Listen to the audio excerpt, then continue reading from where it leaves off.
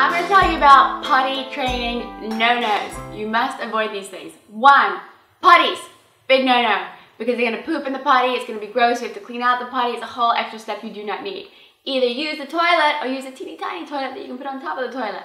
Step two, there's no going back. Once you start potty training, you cannot go back to the diaper. Step three, even when you think they're using poop against you and they're peeing and pooping on the floor and who knows where else, do not shout at your baby. You have to be understanding and positive. We're not going to do this again. Otherwise, I'm telling you, it is really going to affect them later on and they're going to talk about it in therapy. Four, don't even think about potty training at night. Just focus on the day. For night, keep that diaper on and wait till that diaper is dry every single morning for a week. And then you can take it off and then voila, it's done. And you didn't really need to do any work. So go forth, potty train. It is not as hard as you think it is.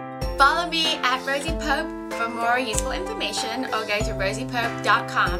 And if you have ideas for videos you want me to make, just let me know.